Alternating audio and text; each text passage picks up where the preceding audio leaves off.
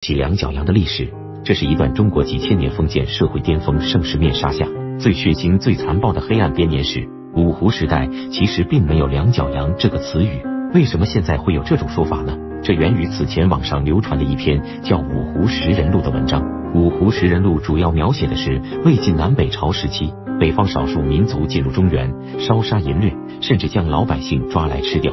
在这篇文章里面。羯族直接将掳掠的汉族女子称作双脚羊，不知道这个不具名的作者是从哪里查到的资料，把两脚羊称作双脚羊。第一次提到两脚羊这个词，是北宋末年一本叫《鸡血篇》的笔记，作者叫庄绰。在这本书里面有这样一段话：自靖康丙午岁，金地乱华，六七年间，山东、京西、淮南等路，经针千里，斗米至数十千，且不可得。人肉之价。鉴于全时，肥壮者一枚不过十五千，全区报以为蜡。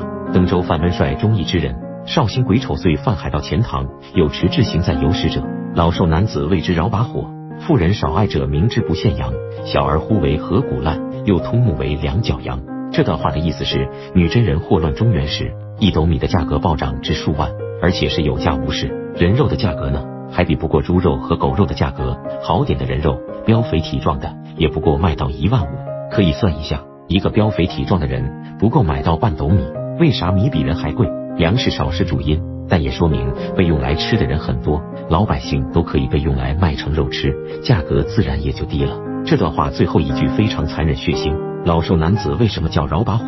可能是男人的肉粗糙，因此得加大火力，而女性小孩的肉好吃。两脚羊可能就是说，如同羊肉一样鲜美。北方少数民族爱吃羊肉，故有此说。小孩的肉比较鲜嫩，可能一烧骨头就酥烂了。那个时候吃人太过普遍，比如《水浒传》里面也有好几处写卖人肉包子的。其实北宋以前虽然没有两脚羊这个称呼，但是人吃人的惨剧确实不绝书。十六国时期，前秦将领苻登外出打仗的时候，从来不带粮草，而是以敌人尸体为食。他把杀死的敌兵叫做熟食。唐朝末年。泸州刺史杨行密围攻广陵，城中粮草庆尽，守城军士就抓百姓到集上贩卖，专门派人杀戮他们，像屠宰猪羊似的。这些人被杀时，竟然一声也不喊叫。还有隋朝末年，家楼罗王朱粲更是杀人，吃人成风。每攻下一座城镇，朱粲就传令把弱小的男女分给各部随军一同行动，要食就杀着吃。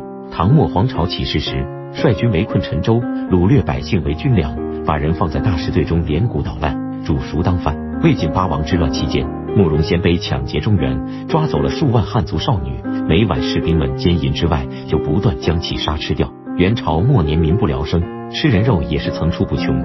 当时的人认为最好吃的是小孩的肉，其次是女性的肉，男人的肉最难吃。而对于烹煮人肉的方式有很多，有的是把人放在一只大缸，外面用火微烤，直到把人烤熟。